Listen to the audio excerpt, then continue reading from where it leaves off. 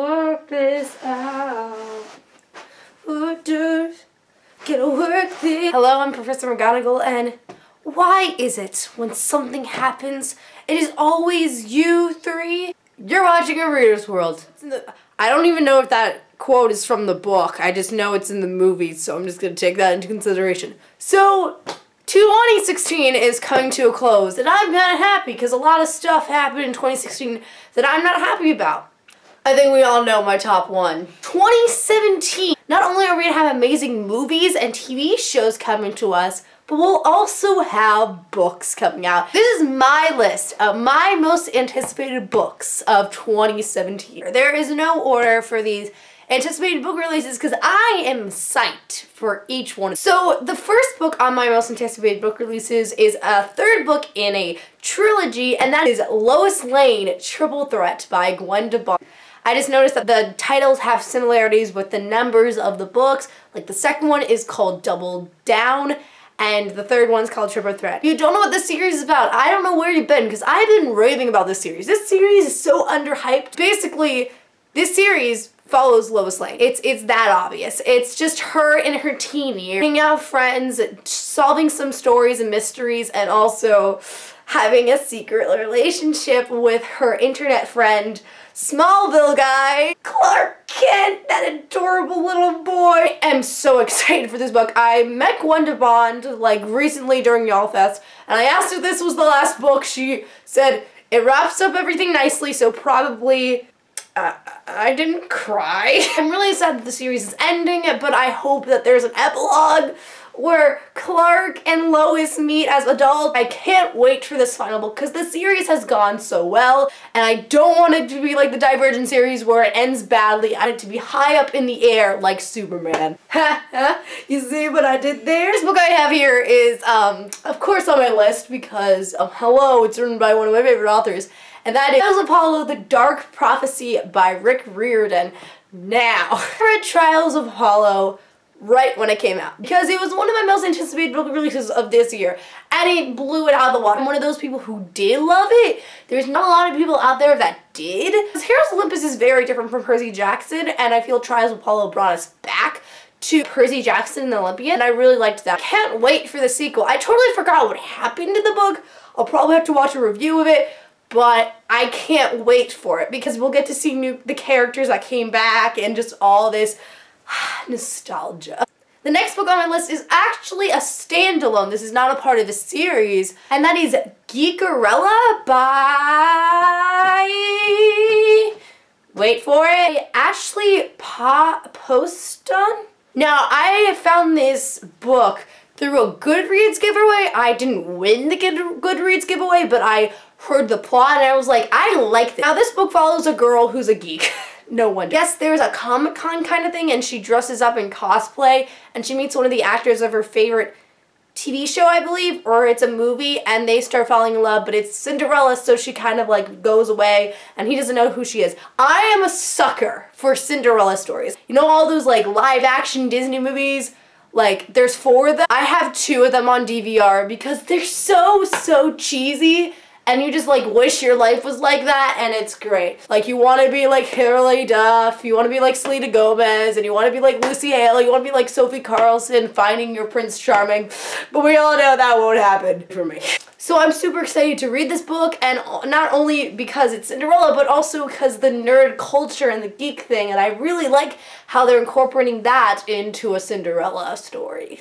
The next book on my list is Because You Love to Hate Me by many, many authors and booktubers. Not only am I excited for this book because booktubers are writing it, but once they're tweeting out their authors and also what their plot is, I felt that was really interesting and I think this is a really cool idea. Okay, so the next book I have here is Elsa, no, not Elsa, Liza and Her Monsters by Francesca Zappa.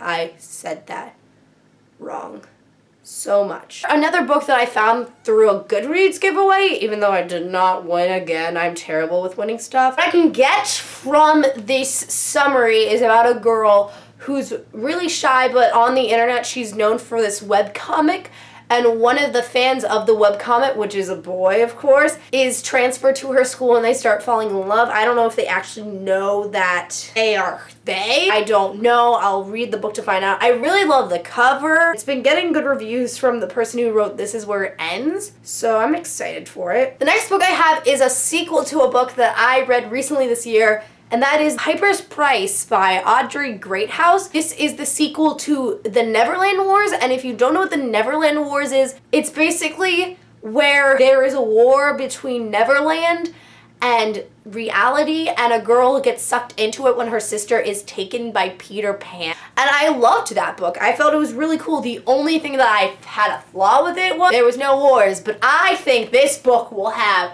the wars. Like, it's like Star Wars. There's not a lot of war in Star Wars, but Rogue One will be the wars in Star Wars. Next two books that I have to talk about are actually kind of a duo kind of thing, and that is The X-File Origins, Agent of Chaos, and The X-Files Origins, um, Devil's Advocate. Now, if you don't know what X-Files is, it is this fantastic TV show. You can find it on Netflix. Follows Dana Scully, who is an FBI agent. She's paired up with um, Fox Mulder, who's kind of the joke of the FBI because he believes that his sister was taken by aliens. So she's supposed to be paired up with him to get him out of the FBI, but she's kind of sucked into this stuff and starts believing that the stuff that he's talking about is real. And these books are the them as teenagers, the same thing with Lois Lane Fallout, where we get to see the characters that we've seen as adults, but we never really got their teenage life and I think that's a really important part of their development is their teenage lives and that's how they evolve. It'd be really cool to see how Dana Scully became a spectator, how Fox Mulder became a believer and I'm really really excited for these books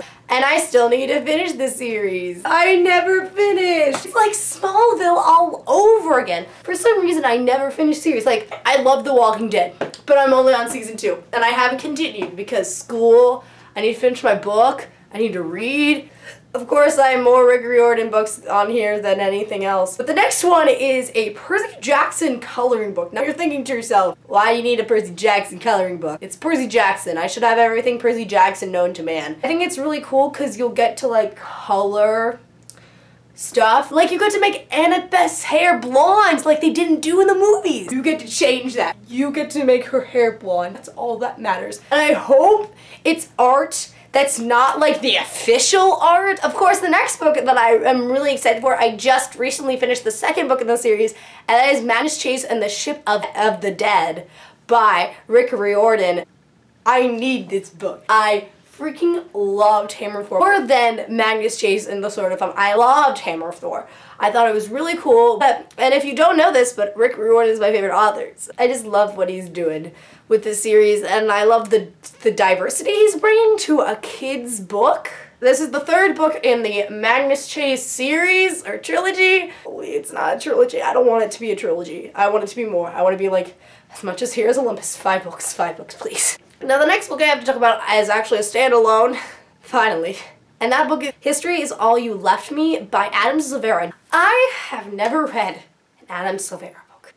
I know, but I really, really want to. I feel that Adam Silvera is not only a nice person, but an awesome writer. Is this the one where like his boyfriend dies and then like he meets his boyfriend's ex-boyfriend and they start going together? I don't really know, but I really, really want to read his books. The next book I am really excited for is Alex and Eliza, A Love Story by Melissa De La Cruz. Now, I've only read one Melissa De La Cruz book, and that is Isle of Lost, and I liked that book so much better than the Descendants movie. I don't know if this is a modern kind of twist on Alexander Hamilton and Eliza Schuyler's relationship, or it's just her giving the information about their relationship.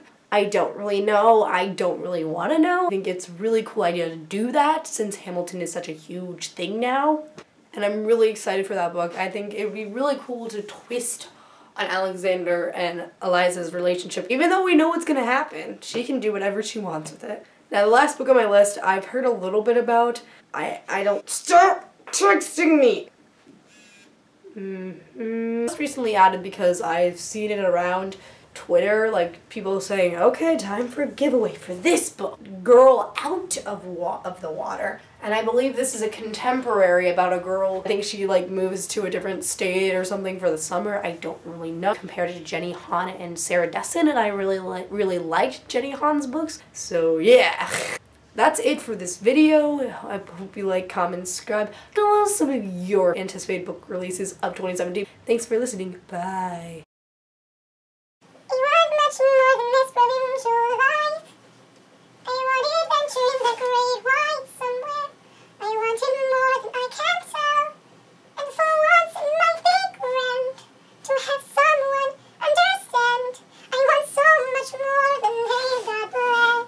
My favorite Disney movie is Snow White.